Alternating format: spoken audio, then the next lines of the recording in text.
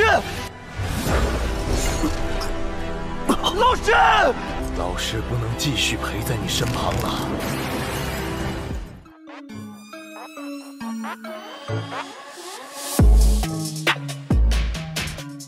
Halo para pecinta Battle True The Heavens dimanapun kalian berada Gimana nih kabar para tetua yang selalu stay dan udah selalu meramaikan kolom komentar Udah siap kancut dengan perjalanan dari Mang Oyan Kuilah tanpa berbasa-basi lagi kita kancutkan dan selamat berimajinasi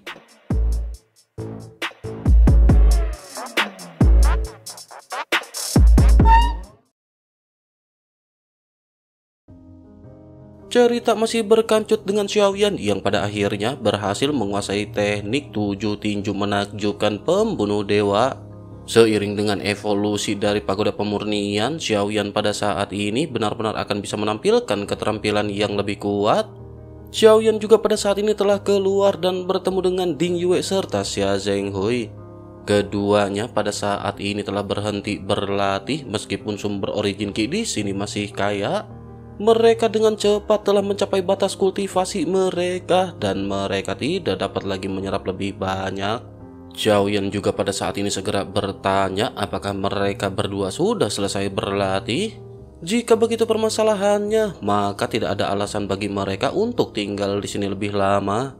Xia Zhenghui dan Ding Yue pada saat ini keduanya mengangguk mendengar apa yang baru saja dikatakan oleh Xiaoyan. Sementara itu di sisi lain, tentu saja mata dari ratusan ribu sosok pada saat ini terfokus pada Xiaoyan. Xiaoyan pun melihat sekeliling dan bersamaan dengan hal tersebut, pikiran Xiaoyan pada saat ini bergerak dan titik api dari api abadi pada orang-orang ini menghilang. Pada saat yang bersamaan, gumpalan api iblis juga pada saat ini menjauh dari sosok-sosok ini. Xiaoyan pun segera memandang kembali ke arah semua orang dan berbicara dengan lembut bahwa mereka telah bebas. Meski suara Xiaoyan ini tidak nyaring, tetapi suara ini seperti guntur di telinga seratus ribu orang ini. Sorakan yang memekakan telinga pada akhirnya tiba-tiba meletus. Xiaoyan juga pada saat ini menemukan keberadaan dari kelompok Chang Sui di antara kerumunan. Xiaoyan pun mengangkat lengannya dan keempat sosok tersebut seketika dipenuhi dengan kegembiraan. Mereka pun segera bergegas menuju ke arah Xiaoyan dan begitu sampai, Xiaoyan pada saat ini mengangkat tangannya dan empat gumpalan api iblis seketika memancar. Meskipun hal ini akan melemahkan kekuatan api iblis untuk waktu yang singkat, Xiaoyan telah berjanji untuk memberikan mereka berempat api iblis. Melihat api iblis yang melayang di hadapan mereka pada saat ini tidak diragukan lagi bahwa ini adalah hasil terbaik bagi mereka. Setidaknya pada saat ini nyawa mereka juga masih ada. Mereka juga pada akhirnya mendapatkan keuntungan dari api ini. Keempatnya pada akhirnya menangkupkan tangannya ke arah Xiaoyan dan segera mengucapkan terima kasih atas hadiahnya. Xiaoyan pun mengangguk dan Xiaoyan tidak banyak berbicara. Xiaoyan lanjut mengajak mereka untuk segera keluar dari tempat ini. Mereka berempat pun mengangguk dan pada saat ini mereka segera bergegas. Mereka bersiap untuk terbang menuju ke bagian terluar dari makam rahasia 10.000 iblis. Tidak banyak waktu yang tersisa sampai tempat ini akan kembali dibuka. Banyak orang juga sudah berangkat meninggalkan tempat ini karena banyak dari mereka yang sudah tidak sabar untuk pergi. Terlebih lagi, mereka juga sudah terlalu lama terjebak di sini oleh Raja Api Iblis. Pada akhirnya, Xiaoyan pun hendak bergegas tetapi bersamaan dengan hal tersebut. Sebuah suara tiba-tiba terdengar di telinga Xiaoyan ketika berkata agar teman kecil menunggu sejenak. Xiaoyan pun sedikit tertegun dan sepertinya hanya Xiaoyan yang pada saat ini bisa mendengar suara tersebut. Xiaoyan pun sedikit gemetar namun setelah beberapa saat Xiaoyan pada saat ini melambaikan tangannya.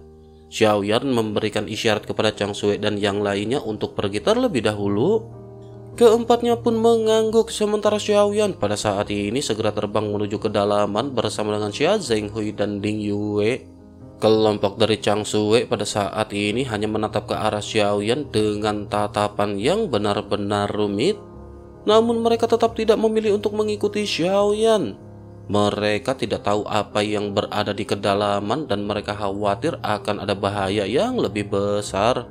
Mereka berempat tidak mau mengambil resiko hingga pada akhirnya mereka pun segera bergegas.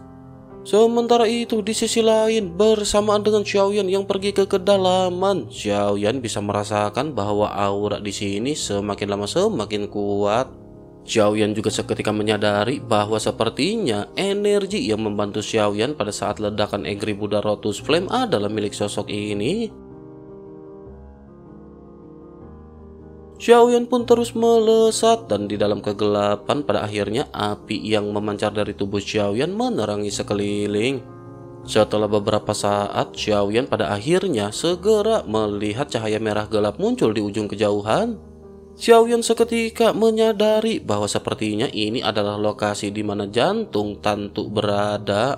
Semakin Xiaoyan dekat dengan jantung ini, lingkungan di sekitar juga pada saat ini benar-benar menjadi semakin sunyi. Hanya jantung dari sosok ini saja benar-benar memiliki fluktuasi yang kuat. Begitu sampai pada akhirnya Xiaoyan berhenti dan Xiaoyan segera menangkupkan tangannya ke arah jantung tersebut. Sesaat kemudian sesosok pada saat ini seketika muncul dari dalam jantung.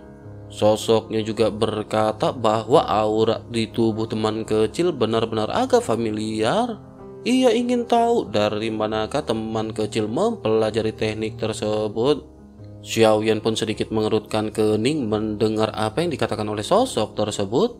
Xiaoyan pada saat ini bisa merasakan sepertinya jiwa dari sosok ini benar-benar telah hancur. Tampaknya tidak akan lama lagi jiwa dari sosok ini benar-benar akan segera menghilang dari dunia ini. Namun Xiaoyan pada akhirnya segera tersadar dan Xiaoyan pada saat ini segera menjawab pertanyaan sosok tersebut. Xiaoyan berkata bahwa ada begitu banyak guru yang telah mengajari Xiaoyan mengenai beberapa teknik. Oleh karena itu ia ingin tahu yang mana yang pada saat ini ditanyakan oleh senior. Mendengar perkataan Xiaoyan ini, sosok tersebut tampak sedikit terjekut. Mengingat ia tidak memiliki waktu yang banyak, pada saat ini ia memutuskan untuk to the point langsung kepada Xiaoyan. Sosoknya pada akhirnya berkata, mari mereka mempersingkat waktu pembicaraan. Tampaknya teman kecil ini sepertinya telah menerima banyak warisan dari Yang Mulia. Bagaimanakah cara teman kecil pada saat ini bisa mendapatkan warisan tersebut? Menanggapi perkataan sosok tersebut, Xiaoyan segera menjelaskan bahwa semua warisan ini terbang dengan inisiatif mereka sendiri. Sosok tersebut pada saat ini terlihat kaget tetapi ia pada saat ini lanjut bertanya. Sosoknya bertanya kepada Xiaoyan, mungkinkah Xiaoyan adalah reinkarnasi dari yang mulia? Xiaoyan pun sedikit mengangguk dan berkata bahwa sejauh yang ia tahu seharusnya memang seperti itu. Sosok itu pun tersenyum pahit sebelum akhirnya berkata ternyata Xiaoyan adalah reinkarnasi yang mulia. Pantas saja Xiaoyan pada saat ini benar-benar bisa membawa tiga jantung api.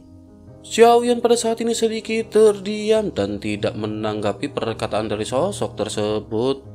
Xiaoyan malah menangkupkan tangannya dan pada saat ini segera berterima kasih karena senior telah mengambil tindakan. Sosok tersebut secara alami menyadari apa yang pada saat ini dimaksud oleh Xiaoyan.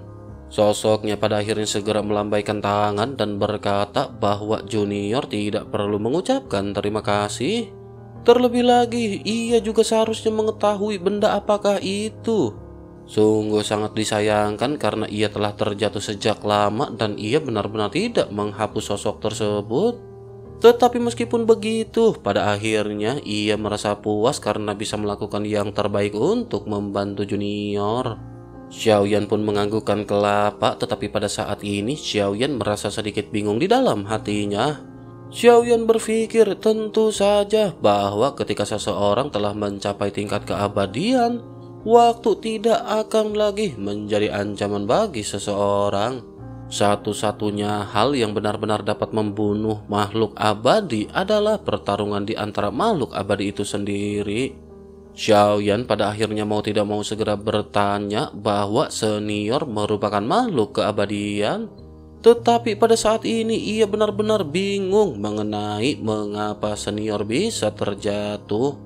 Sosok itu pun segera menjawab bahwa ada terlalu banyak perang dan ia telah melewati perang-perang tersebut. Oleh karena itu dapat dianggap ia benar-benar telah mokat akibat banyaknya pertempuran yang ia jalani. Xiaoyan pun hanya terdiam mendengar jawaban dari sosok tersebut sementara sosok itu kembali mulai menjelaskan. Sosoknya berkata bahwa waktu untuk sisa jiwanya ini hampir habis. Yang mulia telah terlahir kembali oleh karena itu ia bisa meninggalkan dunia ini dengan pikiran tenang. Ia berharap setetes darah keabadian yang akan ia berikan kepadanya akan dapat membantu Xiaoyan. Mendengar hal tersebut, Xiaoyan pada saat ini hanya bisa menangkupkan tangannya dan mengucapkan terima kasih. Sisa jiwa dari sosok ini pun mengangguk sebelum akhirnya sosoknya pada saat ini benar-benar menghilang. Sinar kehidupan terakhir dari sosok tersebut pada saat ini benar-benar telah berakhir. Bersamaan dengan hal tersebut, pada akhirnya seberkas darah emas perlahan mengembun dari jantung dan melayang di hadapan Xiaoyan.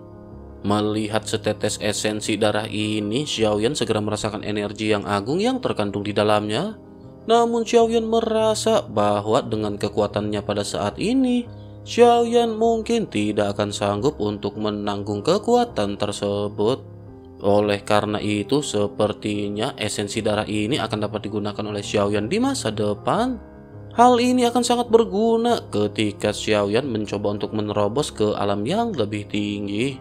Xiaoyan pada akhirnya segera melambaikan tangannya dan memasukkan setetes esensi darah ini ke dalam botol batu giok.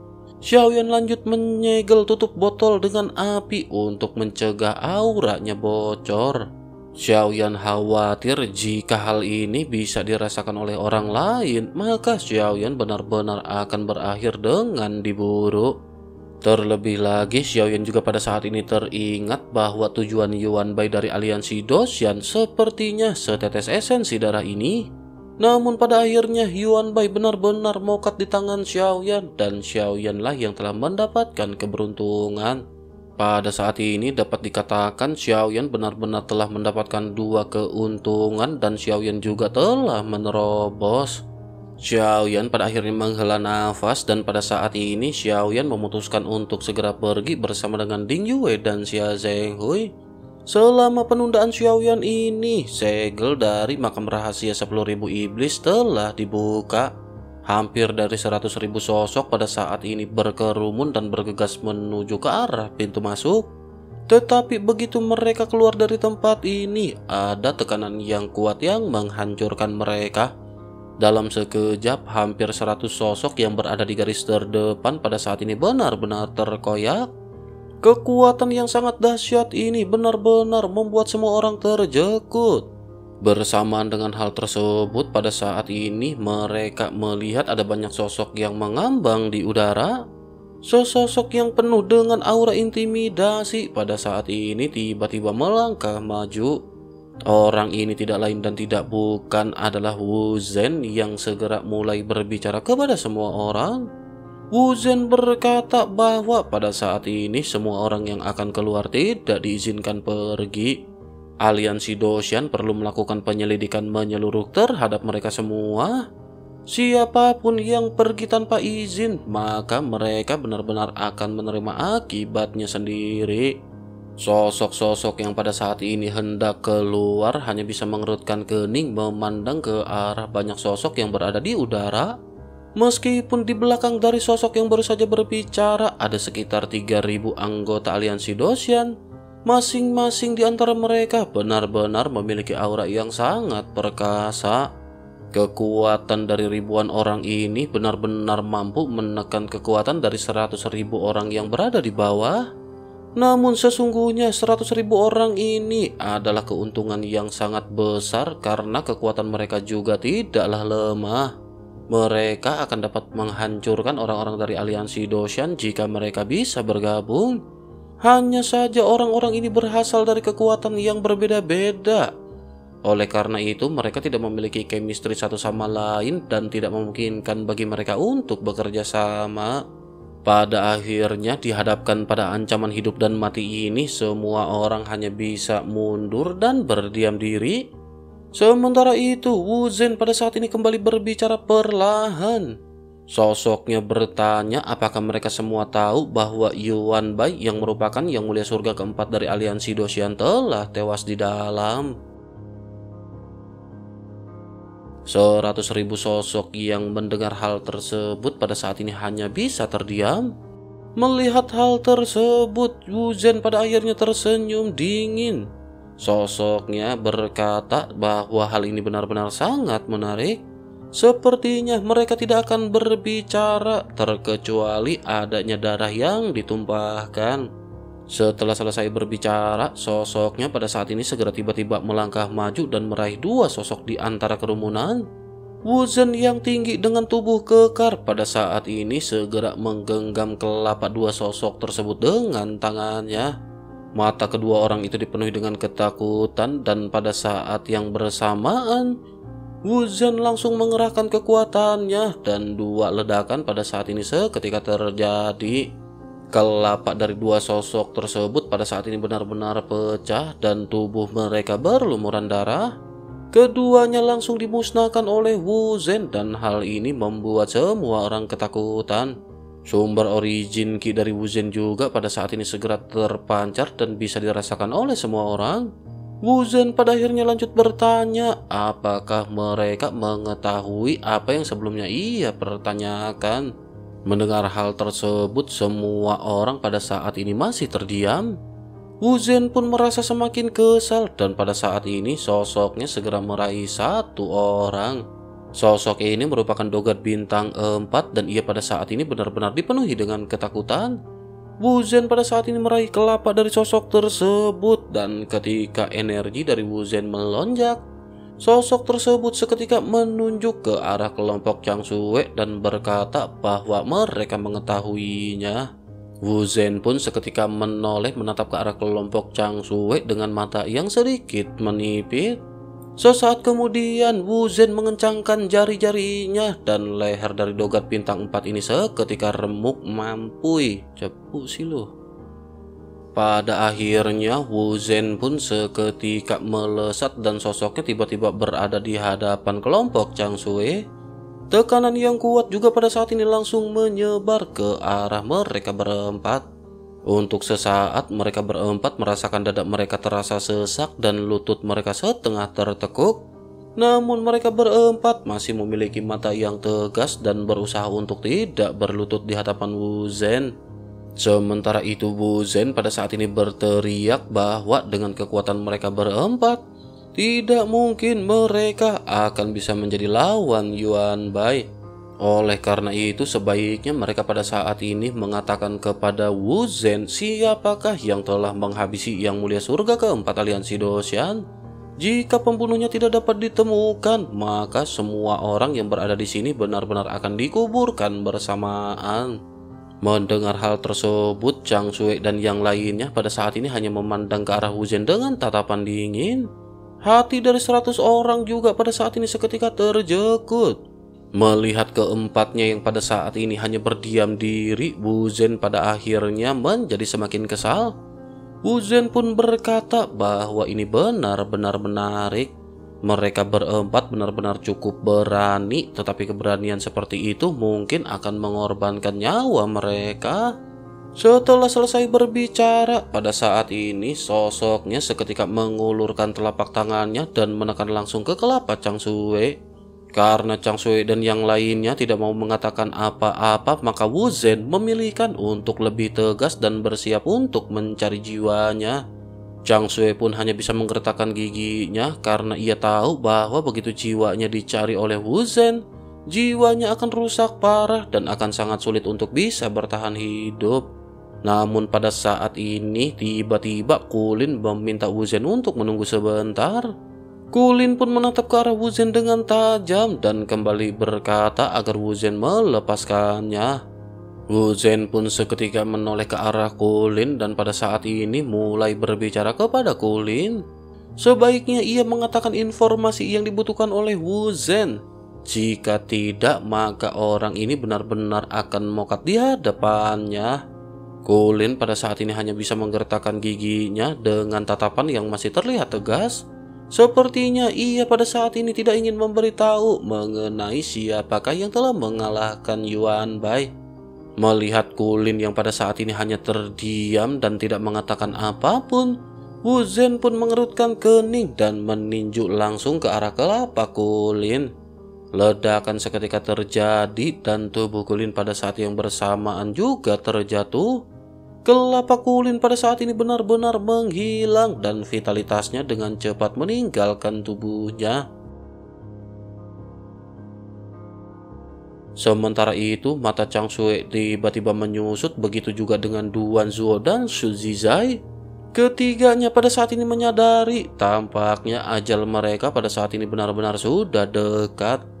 Pada saat ini mereka benar-benar tidak bisa melawan karena perbedaan kekuatan di antara mereka terlalu besar. Oleh karena itu mereka pada saat ini hanya bisa pasrah berhadapan dengan sosok dari Wu Zhen. Sementara itu Wu Zhen pada saat ini tanpa banyak basa-basi segera mengarahkan tangannya ke arah Chang Sui Kekuatan tak kasat mata seketika menutupi Chang Sue. Sesaat kemudian, ia merasa jiwanya seolah tersedot dan rasa sakit perlahan-lahan mulai melonjak.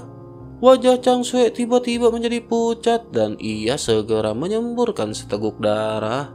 Seiring dengan pencarian jiwa yang dilakukan oleh Wu Zhen, kekuatan kehidupan dari Chang Sue juga pada saat ini semakin cepat berkurang. Suasana pun seketika berubah menjadi hening dengan semua orang yang pada saat ini hanya bisa terdiam. Namun sesaat kemudian pada saat ini sebuah suara tiba-tiba terdengar. Suara tersebut berkata bahwa tempat di sini benar-benar terlihat sangat hidup. Mendengar nada suara yang tidak dipenuhi dengan rasa takut pada saat ini menarik perhatian semua orang. Semua mata seketika tertuju pada sosok yang baru saja mengeluarkan perkataan tersebut. Duan Zuo dan Su Zizai juga pada saat ini melihat sosok yang muncul dan mata mereka tiba-tiba bergetar. Mereka pada saat ini tidak dapat menyembunyikan kegembiraan di wajah mereka. Sosok yang datang kali ini tidak lain dan tidak bukan adalah Xiaoyan. Xiaoyan di sisi lain juga pada saat ini melirik sosok-sosok yang berada di udara dan langsung mengenali orang-orang yang berasal dari aliansi Dosian ini. Xiaoyan juga telah mengetahui sosok Wu Zhen karena Xiaoyan telah mengenali semua yang mulia termasuk dengan Jiangsu. Mungkin mereka tidak mengenali Xiaoyan, tetapi Xiaoyan telah menanyakan banyak informasi tentang mereka selama Xiaoyan berada di aliansi Dosian. Xiaoyan pada akhirnya sedikit tersenyum dan berkata dengan suara yang tidak terlalu nyaring. Xiaoyan berkata, bukankah ini adalah yang mulia kelima dari aliansi Dosian? Sungguh sangat kebetulan karena Xiaoyan baru saja mengobrol dengan yang mulia surga keempat Yuan Bai. Tetapi sangat disayangkan ada beberapa ketidaknyamanan di antara mereka oleh karena itu ia menghabisinya. Mendengar perkataan Xiaoyan ini, semua orang pada saat ini benar-benar seketika terkejut. Mereka tidak pernah menyangka bahwa Xiaoyan akan langsung mengungkapkan apa yang telah Xiaoyan lakukan. Wu Zhen juga mendengar hal ini seketika mengangkat alisnya dan langsung menarik kembali telapak tangannya. Ia tidak lagi melanjutkan pencarian jiwa dari Chang Sui karena semuanya telah terungkap. Sosok yang telah menghabisi Yuan Bai pada saat ini secara tiba-tiba muncul di hadapan mereka. Sementara itu, Jiansu pada saat ini memandang ke arah Xiaoyan di kejauhan dengan mata yang sedikit mengembun. Sosoknya bergumam bahwa orang ini berada di tahap awal dari dogat bintang 5. Namun mengapa ia memiliki rasa ancaman yang kuat di dalam dirinya? Terlebih lagi kekuatan Yuan Bai juga berada di tahap akhir dari dogat bintang 5. Seharusnya lebih dari cukup bagi Yuan Bai untuk menghadapi seorang dogat tahap awal bintang 5. Selain itu, bahkan jika Yuan Bai berhasil dikalahkan oleh sosok tersebut, tidak mungkin sekali bagi Yuan Bai bisa mokat di dalam pertempuran. Jiansu pun mengerutkan kening dan pada saat ini sedikit merenung. Setelah beberapa saat, pada akhirnya sosoknya kembali menatap ke arah Xiaoyan. Jiansu pun lanjut bergumam bahwa penampilan orang ini benar-benar membuatnya merasakan perasaan dejupa, depaju, dejapu. Jiansu pun lanjut menatap ke arah pedang yang berada di punggung Xiaoyan yang terbalut dengan kain. Mata indahnya pada saat ini perlahan mengeras dan ia sepertinya segera mengingat bahwa ia telah melihat wajah ini sebelumnya. Meskipun sudah lama berlalu, tetapi kesannya benar-benar masih sangat dalam di dalam benaknya. Jiansu pada akhirnya kembali bergumam bahwa sosok ini sangat mirip dengan sosok yang berada di bintang Hongmeng. Sosok ini benar-benar sangat mirip dengan sosok yang merupakan reinkarnasi dari yang mulia yang bernama Xiaoyan. Memikirkan hal ini, mata dari Jian Su pun seketika menunjukkan ekspresi keterkejutan yang luar binasa. Namun sosoknya juga dipenuhi dengan keraguan dan bergumam bahwa itu tidak mungkin. Setelah pertempuran dari bintang Hong Meng, sosok yang bernama Xiaoyan ini sudah lama mokat. Jika itu memang Xiaoyan, mengapa ia pada saat ini masih berada di sini? Mungkinkah pada saat ini sosok ini hanya terlihat mirip dengan reinkarnasi dari yang mulia? Sementara itu di sisi lain Wu Zhen pada saat ini menatap ke arah Xiaoyan di kejauhan. Ingatan dari Wu Zhen ini tidak sebaik jika dibandingkan dengan ingatan dari Jiansu. Dengan kata lain, ia juga tidak terlalu memperhatikan detail mengenai Xiaoyan. Terlebih lagi, ia telah bertemu dengan banyak orang selama ribuan tahun terakhir. Wu Zhen pada akhirnya segera berkata dengan keras ke arah Xiaoyan. Sosoknya berkata bahwa ia tidak tahu apakah sosok Xiaoyan ini beruntung atau berani. Jika ia berani membunuh yang mulia dari aliansi Doshan, tahukah ia akan ada konsekuensi yang harus ia tanggung? Oleh karena itu, pada saat ini ia benar-benar akan melakukan pembalasan terhadap sosok Xiaoyan.